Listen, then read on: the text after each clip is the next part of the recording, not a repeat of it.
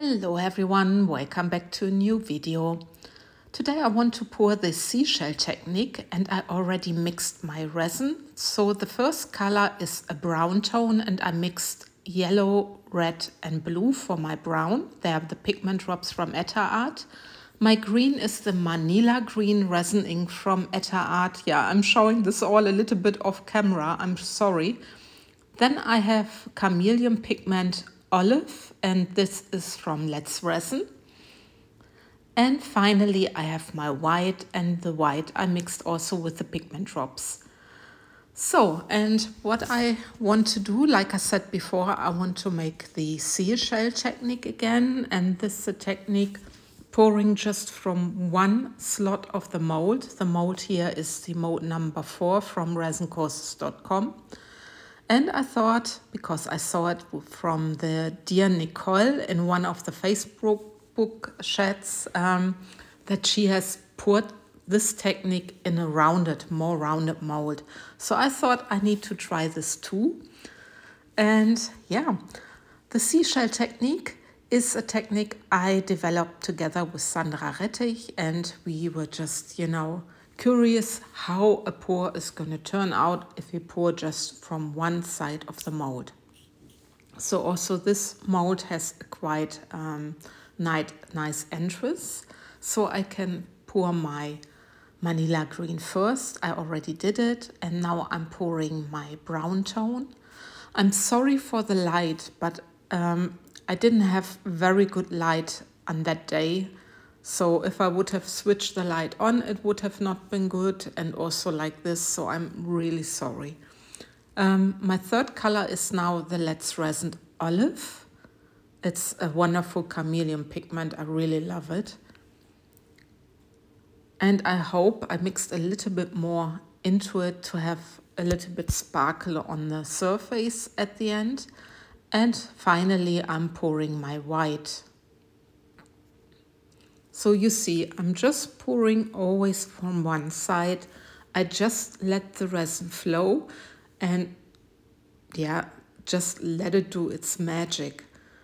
Um, well, principally it's like um, a puddle pour, but only from one slot. So not from the center, but just from one side. And now I'm taking also my clear resin and I'm just filling up my mold and I'm not um, pushing my white too hard. I just do it gently because I also don't want to um, that the resin is overfilling at the sides because of course there's the most coming out at the moment. So I'm really taking my time pouring the resin into this mold. The resin I'm using here is the Ultracast resin. It's a medium viscosity resin. So and this is my clear done. And then I have also a mixture and I mixed many colors. I had um, the Fantasy Sandcastle from Laura's Art Corner. I had some um, white stones and I just made a mix of things I had. And yeah, just to have um, a smooth sparkle and that it also matches with my mold or with not with my mold but with my colors I poured. So I'm preparing this a little bit aside. Like I said, I'm sorry that I'm sometimes a little bit off camera. So there I had more a green color from Laura. And I thought it doesn't quite match with the green I have. So I just quickly went into my drawer and I took the Fantasy Sandcastle, which you will see in a second. But you know, sometimes you just need to um, figure out why pouring does this match, doesn't it match, and you know, then you change during the pour, and where this happens to me quite often. So I hope you are not bored, but you can already see also a little bit how um, the white is changing in this open space and how the resin is slowly going or moving to the center. So I'm putting the rest I had of this um, glitter into my cup. So my Fantasy Sandcastle is completely gone.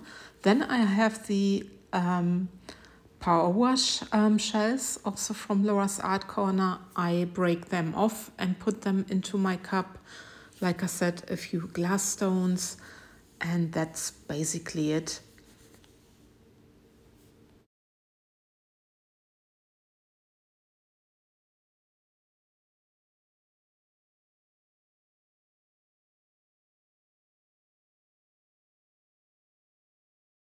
Oh, and I mixed everything now and now I can give it into this open slot where I just poured. And I'm just taking my popsicle stick and I'm just placing my glitter mix and I just make sure that I have it the way I want it to be. And this um, gives this little open space also a little bit of a highlight. This is what I found with the other mold I poured it in. I think it, yeah, it just gives a nice sparkle at the end. And if the pour is really working, it should really that the sort of crackles um, spread out like you have it in a seashell. But we will wait and see. It's a round mold and not a rhombus like um, the other molds. So I really need to see what is the outcome. And I'm quite curious about it. But now you see also a little time lapse where you can see how the resin is really moving and what it's doing. You can see that um, it really lightens and that there's happening something underneath. So I'm so curious to demold it, but I needed to wait almost 24 hours. I also take you down for a little close up and you can really see these nice patterns. It's also similar to um, the dragon flower that you have the spider effect. And this I didn't have before, so I'm really curious how this is going to turn out. Anyway, Next day, it's almost 24 hours later, and look at the shimmer. And yeah, let's have a look. So curious. And look at that. I was surprised about it because I didn't expect this outer rim and the inside looks like the top of a tree. And the colors are also like, like the tree, tree top and I really love it. And the glitter could be the stem. It's it's well, I was speechless because I didn't expect this outcome, but I really love it. Um, I'm very um, stunned myself what resin can do, what effects you can achieve.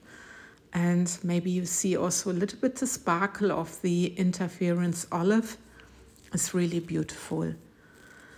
With this, I just love and leave you. I'm wondering what you think about this pour, and I say see you to my next video. Take care, guys. Bye bye.